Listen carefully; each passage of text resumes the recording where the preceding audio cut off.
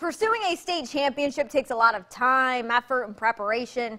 Juggling game prep with schoolwork can be a challenge. However, if you ask our student athlete of the month from Starkville, it's all just a part of the process. WCBI Sports' Tom Ebel has more.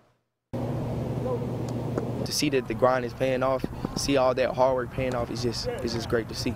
2019 has been the breakout season for Starkville wide receiver Joshua Aka.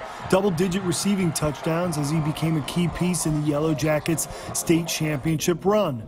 Football is a part of Aka's future, but football doesn't define the senior. Aka is a member of the National Honor Society while also taking college level courses after being accepted to the Shackouls Early Honors College at Mississippi State. Aka says balancing football and his education is what being a student athlete is all about. It's demanding for each side.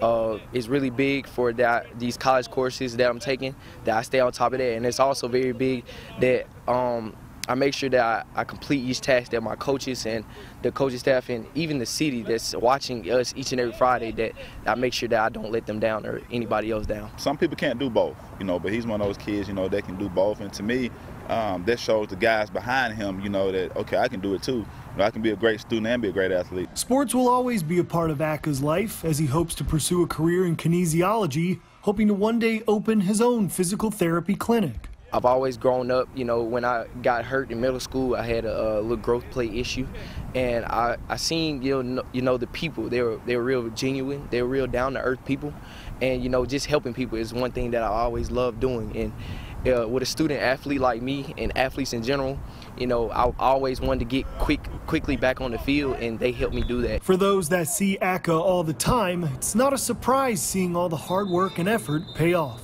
I always thought, you know, he's going to be successful no matter what, no matter if it's football, um, whether it's, you know, school or later on in life, you know, when he gets a job, because he's just one of those kids that just does everything right. He works his butt off. And to me, um, when you work hard and just be patient and do what you're supposed to do, you know, your time will come. It's all about your work ethic to me.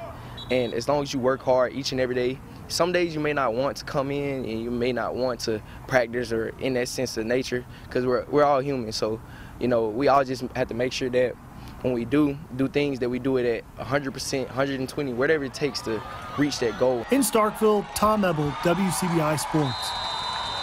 Aka and Starkville High School state championship run may have ended. However, Aka's football career is far from over.